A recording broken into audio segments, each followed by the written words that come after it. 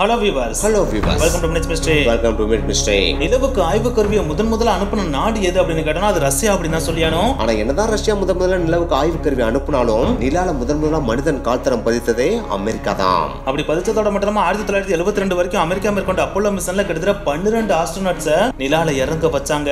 அப்படி இறங்குனதுக்கு அப்புறம் மக்களுக்கு மூணு மிஷன்ல இன்ட்ரெஸ்ட் கம்மியாச்சு அப்படின்னு சொல்லிட்டு அமெரிக்கா கிட்டத்தட்ட 50 வருஷம் கேப் விட்டுட்டாங்க. அப்படி கேட்பட்ட அந்த ஒரு டைம்ல நம்ம இஸ்ரோ விஞ்ஞானிகள் நிலவோட தென்துருவ பகுதியில் நீர் இருக்கு அப்படின்ற ஒரு விஷயத்தை கண்டுபிடிச்சு இந்த உலகத்தையே மிரள வச்சாங்க. அப்படி நிரூபிச்சதோட மட்டும் இல்லாம இப்ப சந்திராயன் த்ரீ மூலமா உலகத்திலேயே ஃபர்ஸ்ட் நாடா நிலவோட தென்துருவ பதில இப்ப லேண்டும் பண்ணிட்டாங்க.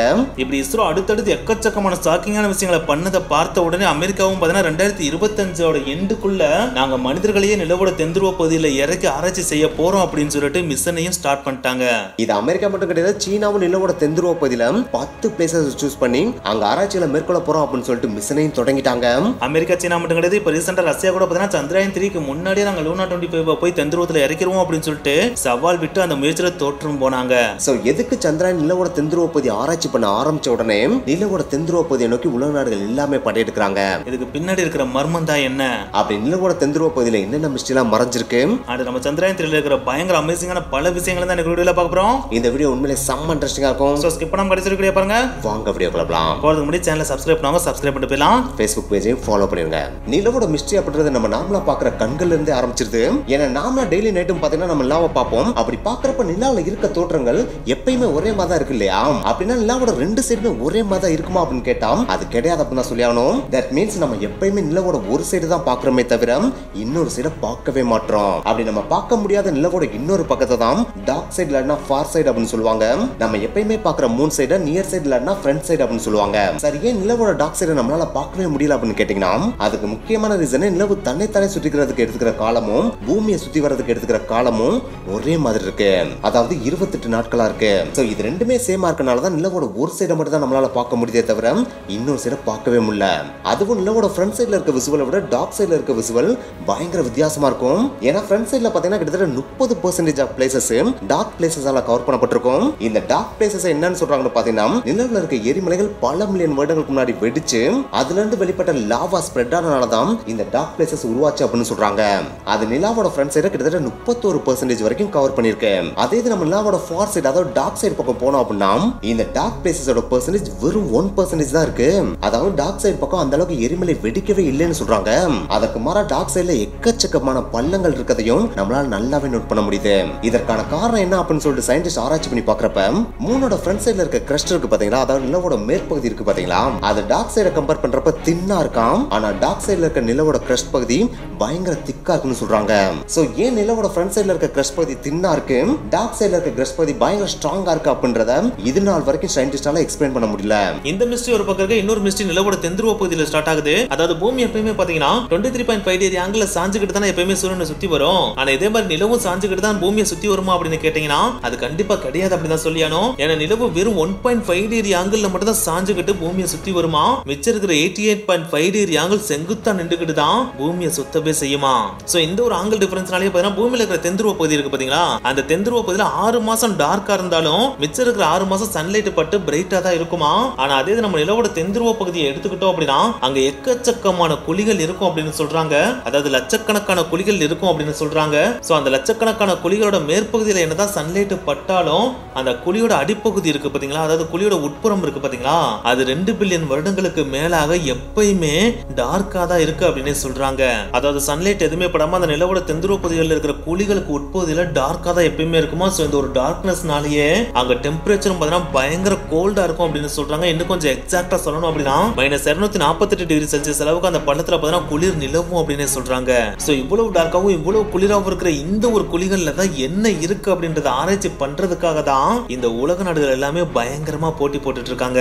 ஏன்னா ரெண்டு பில்லியன் வருடங்களா இந்த குழிகள் எல்லாத்துலயுமே குளிர் மட்டுமே நிலவிட்டு இருக்கு அப்படின்னா அங்க இருக்கிற பொருட்கள் எல்லாமே சேஃபா ஒரே மாதிரி தானே இருக்கவே செய்யும். சோ அந்த இடத்துல இருக்கிற விஷயங்களை நம்ம ஆராய்ச்சி பண்ணாலே எக்கச்சக்கமான விஷயங்களை கண்டுபிடிக்கலாம் அப்படின்னு சொல்றாங்க. நம்ம சந்திரயன் ஒன்று ஆல்ரெடி பார்த்தீங்கன்னா நிலவோட தென்துருவத்துல வாட்டர் இருக்கிறதுக்கான ரிசோர்சஸ் இருக்கு அப்படின்றத கண்டுபிடிச்சு சொல்லுச்சு இல்லையா?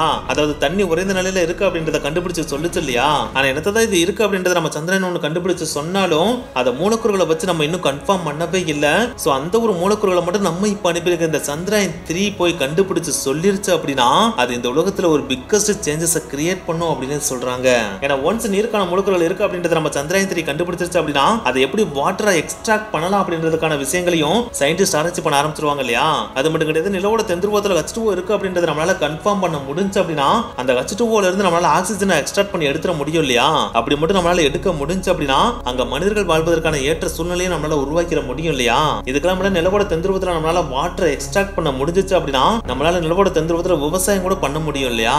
சரி ஒரு தண்ணீருக்காக இவ்வளவு பெரிய மிஷனை நிலவுல மேற்கொள்ளணுமா அப்படின்னு சொல்லி நீங்க யோசிக்கலாம் அதுக்கு ஒரு முக்கியமான காரணம் இருக்குது ஏன்னா இந்த உலகத்தில் ஸ்பேஸ் மிஷனை செய்யறதுக்காகவே சில பிரைவேட் கம்பெனிஸ் இருக்கும் பார்த்தீங்களா எக்ஸாம்பிள் சொல்லணும் அப்படின்னா ஸ்பேஸ் எக்ஸ் மாதிரியான கம்பெனிஸ் இருக்கும் பார்த்தீங்களா அவங்க என்ன சொல்கிறாங்க அப்படின்னு பார்த்தீங்கன்னா சந்திரனுக்கு நம்ம பூமியில இருந்து ஒரு கிலோ எடை இருக்கிற ஒரு பொருளை டிரான்ஸ்போர்ட் பண்ணணும் அப்படின்னா அதுக்காகவே கிட்டத்தட்ட இந்திய ரூபாய் மதிப்பின்படி எட்டு கோடி ரூபாய் செலவு பண்ண வேண்டியிருக்குமா? அதாவது உங்களுக்கு புரியுற மாதிரி சொல்லணும் அப்படின்னா ஒரு லிட்டர் தண்ணியை நம்ம பூமியிலிருந்து நிலாவுக்கு கொண்டு போனோம் அப்படின்னா அதுக்கு எட்டு கோடி ரூபாய் செலவு பண்ணுமா? ஸோ அப்படி இருக்கிறப்ப அந்த தண்ணியை நிலாவிலேயே எக்ஸ்ட்ராக்ட் பண்ண முடியுது அப்படின்னா அந்த நிலால போய் ரிசர்ச் பண்ண போற எல்லா சயின்டிஸ்டுக்குமே பயங்கர ஹெல்ப்ஃபுல்லா இருக்கும் இல்லையா? அதுக்காக தான் நிலால தண்ணி இருக்கா அப்படின்றத கண்டுபிடிக்கிறதுக்கு இவ்வளவு தூரம் ட்ரை பண்றாங்க அப்படின்றே சொல்றாங்க. அது மட்டும் கிடையாது நிலவோட தென்துருவத்தில் இருக்கிற அந்த ஒரு லட்சத்துக்கும் மேற்பட்ட குழிகள்ல எக்கச்சக்கமான குழிகள் பாத்தீங்கன்னா பல கிலோமீட்டர் தூரம் அளவுக்கு மிகப்பெரிய விட்டம் கொண்டதா இருக்கான் அந்த குழிகளுக்குள்ள இருக்கிற அந்த டார்க்கான பிளேசஸ்ல என்ன இருக்கு அப்படின்றத இதுவரைக்கும் யாராலையும் கண்டுபிடிக்கவே முடியல. இதனாலதான் நிலவோட தென்துருவத்தை நாசாவே பாத்தீங்கன்னா ஒரு மர்மமான பிளேசஸ் அப்படின்னு அறிவிச்சிருக்காங்க. அந்த மர்மமான பிளேஸ்க்குள்ள என்ன இருக்குன்றதை தெரிஞ்சுக்கிறதுக்கும் நம்ம இஸ்ரோ மட்டும் கிடையாது இந்த உலகத்துல இருக்கிற முக்கியமான நாடுகள் எல்லாமே பயங்கரமா முட்டி மோதிட்டு போட்டி போட்டுட்டு இருக்காங்க இதுல நம்ம சந்திராயன் த்ரீ ஃபர்ஸ்டா போய் அந்த நிலவோட தென்துருவத்துல போய் ஆராய்ச்சி பண்ண ஆரம்பிச்சிச்சு அப்படின்னா அந்த ஆராய்ச்சிகள் மூலமா நிலவு எப்ப தோன்றுச்சு பூமி எப்ப தோன்றுச்சு நிலவு தோன்றதுக்கான காரணம் என்ன அப்படின்னு பல விஷயங்களை நம்மளால கண்டுபிடிக்க முடியும் அப்படின்னு கூட சொல்றாங்க. சோ அதனாலதான் நிலவோட தெந்துருவ ஆராய்ச்சி அப்படின்றது ரொம்ப ரொம்ப முக்கியமான ஒரு விஷயமாவே இருக்கு. ஓகே நீங்க சந்திராயன் மின்கலத்தை நல்லா பார்த்தா தெரியும். அதை சுத்தி எக்கச்சக்க பிளேசஸ்ல கோல்டன் ரேப் அப் பண்ணிருப்பாங்க. அதை பாக்குறதுக்கு பியூர் கோல்டு மாதிரி தான் நமக்கு தெரியும். அது உண்மையிலே பியூர் கோல்டு அப்படின்னு கேட்டீங்கன்னா அது கண்டிப்பா கிடையாது அப்படின்னு தான் சொல்லி ஆகணும் ஆனா அது கோல்டு இல்லாட்டி ஸ்பேஸ் மிஷின் அதோட மதிப்பு அதை விட விலை உயர்ந்தது அப்படின்னே சொல்லலாம். ஏன்னா அதோட முக்கியமான பர்பஸ் இன்சுலேஷன் லேயரா செயல்படுறது தான் எஸ் இந்த ஒரு லேயர் இல்ல அப்படின்னா ஸ்பேஸ்ல விண்கலம் அந்த அளவுக்கு பெருசா தாக்கு பிடிக்கவே பிடிக்காது அப்படின்னு சொல்றாங்க. ஏன்னா ஒரு நிலவு பயணத்தை மேற்கொள்றப்ப விண்கலம் பாத்தீங்கன்னா பல லட்சம் கிலோமீட்டர் டிராவல் பண்ண வேண்டியிருக்கும். அப்படி டிராவல் பண்ற எல்லா இடத்துலயும் டெம்பரேச்சர் ஒரே மாதிரி இருக்கும் அப்படின்லாம் சொல்லிட முடியாது. சில இடங்கள்ல டெம்பரேச்சர் லோவா இருக்கும். சில இடங்கள்லாம் பாத்தீங்கன்னா டெம்பரேச்சர் பயங்கர ஹையா இருக்கும். சோ இந்த டெம்பரேச்சர் வேரியேஷன்ல இருந்து விண்கலத்தை பாதுகாக்கிறதுக்காக தான் இந்த மல்டிலேயர் இன்சுலேஷன் கொடுக்குறாங்க. இந்த இன்சுலேட்டர் கோட்டிங் என்ன பண்ணும் அப்படின்னு பாத்தீங்கன்னா வெளியில அளவுக்கு அதிகமான டெம்பரேச்சர் இருந்தாலும் அதை உள்ள விடாது. அதே நேரத்துல உள்ள இருக்க டெம்பரேச்சரையும் ஒரே மாதிரி மெயின்டைன் பண்ணும். இதுக்கெல்லாம் மேல ஸ்பேஸ்ல கதிர்வீச்சுகள் இருக்க தானே செய்யும். அந்த கதிர்வீச்சுகள் விண்கலத்து மேல டைரக்டா பட்டுச்சு அப்படின்னா உள்ள இருக்க சென்சிட்டிவ் பார்ட்ஸ் எல்லாம் டேமேஜ் பண்ணி விட்டுரும் இல்லையா? சோ அந்த கதிர்வீச்சுகள் இருந்து பாதுகாக்கிறதுக்கு இந்த இன்சுலேட்டர் கோட்டிங் பயங்கரமா ஹெல்ப் பண்ணுது. இதுக்கெல்லாம் மேல ஸ்பேஸ் அப்படின்னாலே எக்கச்சக்கமான ஜங்க்ஸும் இருக்க தானே செய்யும். அந்த ஜங்க்ஸ்ல இருந்து விண்கலத்தை ப்ரொடெக்ட் பண்றதுக்கும் இந்த கோட்டிங் பயங்கரமா ஹெல்ப் பண்ணுது. இந்த இன்சுலேட்டர் லேயர் பாத்தீங்கன்னா மல்டிபிள் லேயர்ஸா இருக்கும். வெளிப்புறத்துல பாத்தீங்கன்னா தங்க நிறத்தாலான மென் தகடுகள் இருக்கும். உட்புறத்துல பாத்தீங்கன்னா வெள்ளை நிறத்தாலான மென் தகடுகள் இருக்கும். இந்த தங்க நிறத்தாலான தகடுகள் தங்க இல்லைன்னு நம்ம ஆல்ரெடி பார்த்திருந்தோம். சோ இது ஃபுல் அண்ட் ஃபுல் பாத்தீங்கன்னா பாலிஸ்டர் தன்மை கொண்ட பொருட்கள் இருக்கு பாத்தீங்களா? அதை வச்சு தான் செய்வாங்க. அண்ட் அந்த பாலிஸ்டர் லேயருக்கு மேல பாத்தீங்கன்னா அலுமினியம் பூச்சும் பூசுவாங்களாம். இதுக்கு மேல தான் கோல்டன் கலர் கோட்டிங்கும் கொடுப்பாங்களாம். சோ இப்படிதான் இந்த மென் தகடுகள் உருவாக்கப்படுது அப்படின்னு சொல்றாங்க. சோ இப்படி உருவாக்கப்படுற இந்த மென் தகடுகள் சந்திராயன் த்ரீ விண்கலத்துல மட்டும் கிடையாது. மற்ற எந்த நாடு செயற்கைக்கோள் அனுப்புனாலும் அதுலயே இந்த மென் தகடுகள் சுற்றப்பட்டதா இருக்கும். நெக்ஸ்ட் நம்ம விக்ரம் லேண்டர் இருக்கு பார்த்தீங்கன்னா அந்த லேண்டரோட வெயிட் மட்டும் எவ்வளவு அப்படின்னு பார்த்தீங்கன்னா கிட்டத்தட்ட ஆயிரத்தி எழுநூத்தி ஐம்பத்தி ரெண்டு கிலோ அப்படின்னு சொல்றாங்க. இது லாஸ்ட் டைம் நம்ம சந்திராயன் டூல அனுப்பின விக்ரம் லேண்டரோட எடையை விட கிட்டத்தட்ட இருநூத்தி எண்பது கிலோ அதிகம் அப்படின்னு சொல்றாங்க. இதுக்கு முக்கியமான ரீசனே போன தடவை லேண்டர் போய் ஃபெயில் ஆயிடுச்சு இல்லையா? அந்த ஃபெயில்ல இருந்து இந்த தடவை சக்சஸ் ஆகணும் அப்படின்னா அதுக்கு எக்கச்சக்கமான மாடிபிகேஷன் பண்ணணும் இல்லையா?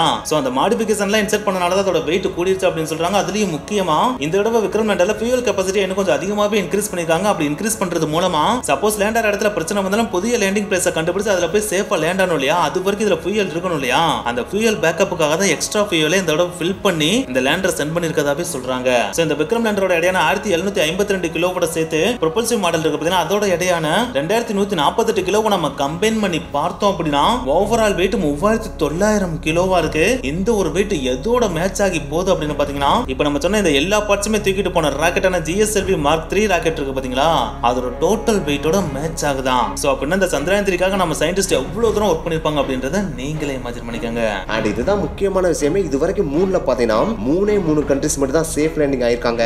அது America former Soviet Union and China மட்டும்தான். அதுக்கப்புறம் நாலாவது சக்சஸ்ஃபுல்லா சேஃப் லேண்டிங் ஆன ஒரே கண்ட்ரி அப்படின்னா அது நம்ம இந்தியா தான். இது மூணு லேண்டிங்ல தான் நம்ம நாலாவது இடம். ஆனா சவுத் போல்ல லேண்டிங் ஆன முதல் கண்ட்ரி அப்படின்னா அது நம்ம இந்தியா தான். சோ இந்த விஷயத்துல நம்ம மிகப்பெரிய பெருமிதம் கொடுத்து தான் ஆகணும். அது மட்டும் கிடையாது நம்ம இஸ்ரோ விஞ்ஞானிகள் எல்லாருக்குமே நம்ம ஒரு மிகப்பெரிய அப்ளாஸ் கொடுத்து தான் ஆகணும். ஓகே காசு எனக்கு வீடியோ முடிச்சு இந்த வீடியோல இருந்து நிலாவை பத்தியும் அதே நேரத்தில் சந்திரயான் த்ரீயை பத்தின எக்கச்சக்க விஷயங்களை நீங்க புதுசாக தெரிஞ்சு போய் நாங்க நம்புறோம். இந்த வீடியோ உங்களுக்கு பிடிச்சி பிடிச்சிருந்துச்சா லைக் பண்ணுங்க ஷேர் பண்ணுங்க போகும்போது மறக்காம மினிட்ஸ் மிஸ்டர் சேனல் சப்ஸ்கிரைப் பண்ணுங்க. நெக்ஸ்ட் வீடியோ மீட் பண்ணலாம். பாய்